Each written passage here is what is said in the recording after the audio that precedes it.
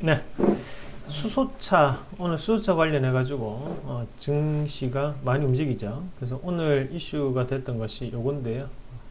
세계 첫 국회 수소 충전소 수소 경제 거점된다. 그래서 요게 이제 언제 열리냐? 10월 달에 아 10월 10일에 10일 날 개시를 합니다. 근데 여기 안에서 우리가 봐야 되는 게 자, 서울 시내 충전소 근황 여기 지금 두 군데밖에 없어요. 어디냐면 양재 양재하고 그리고 상암 두 군데인데요. 지금 새로 생기는 것이 이제 강동 상일 강동 지역에 한 개, 그리고 현대 개동 여기 추진하고 있고, 그리고 강서 공영 추진하고 있죠.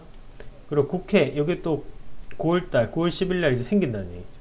예, 이것도 추진하고 있는 거죠. 그러면 이렇게 하면 총 이제 7개, 그 지금 두 개인데 이제 7개로 늘어날 수 있다. 그 얘기를 지금 하는 거거든요.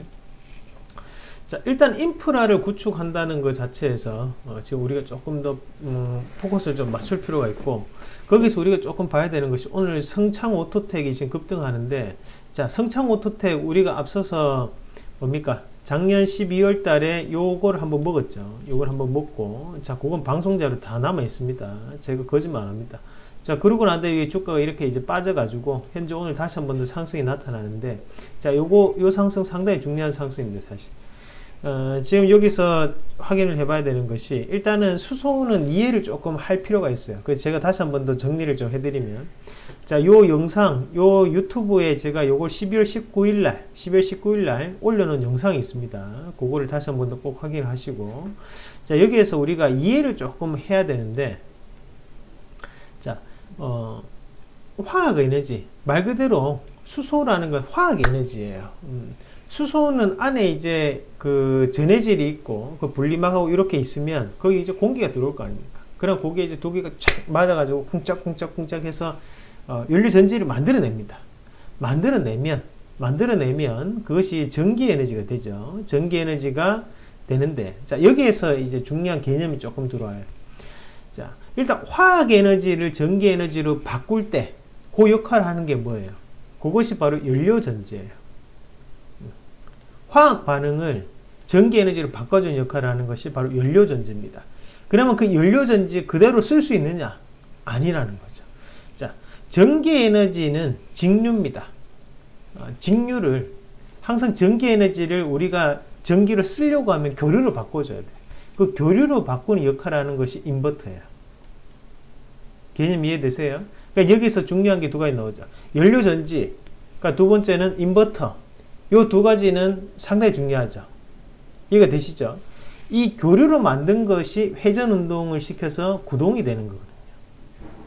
자, 그럼 수소차의 원리만 알고도 두 가지가 중량이 떠오른다, 그죠? 연료 전지하고 인버터. 이 두 가지는 꼭 기억을 해야 되는 거예요. 자, 그러면 우리가 최근에 이제 나오고 있는 게 수소 충전소. 자, 그럼 벌써 세 가지가 되는 거예요. 그러니까 이세 가지는 기본적으로 알고 있어야 되는 겁니다.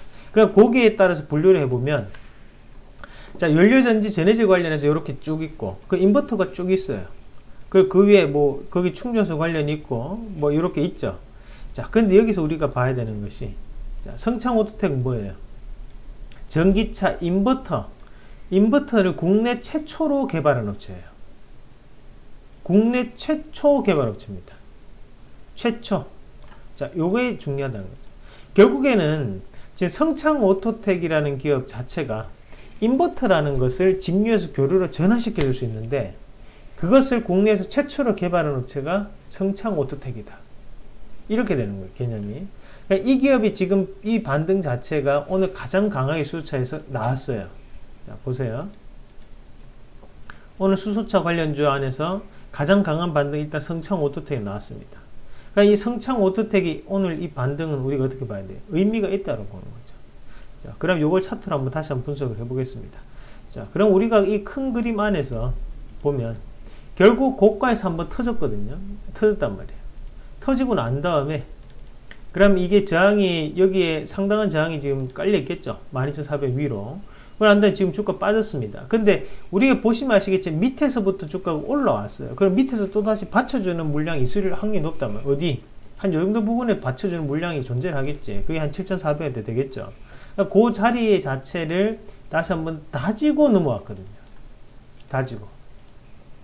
그럼 이 7,400원대 밑에 그러니까 여기서 다졌던 이 자리 이런 자리에서 밑에서 물량을 바꾸고 뻗어냈단 말이죠.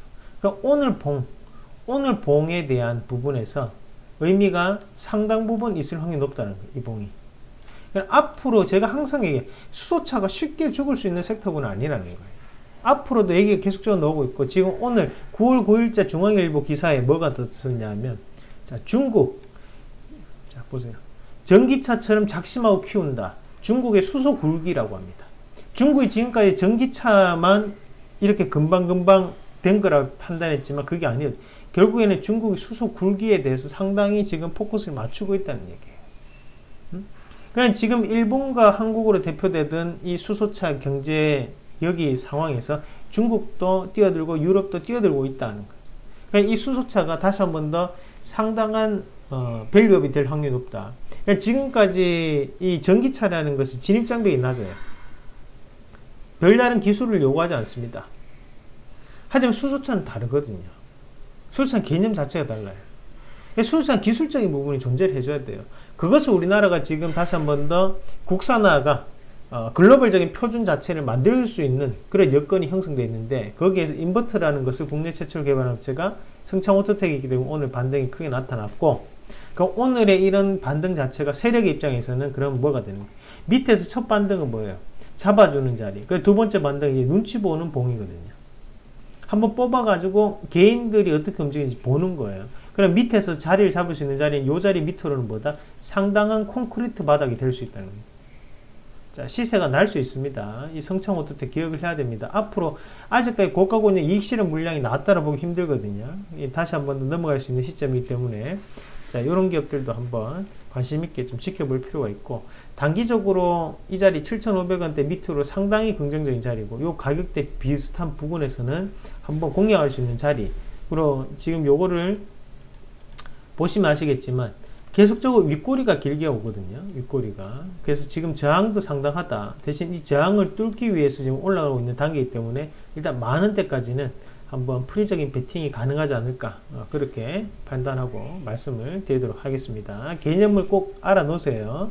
자, 앞서 그 보여드렸던 그 그림이 정말 중요한 그림입니다. 그 그림 꼭 참고하시길 바라겠습니다.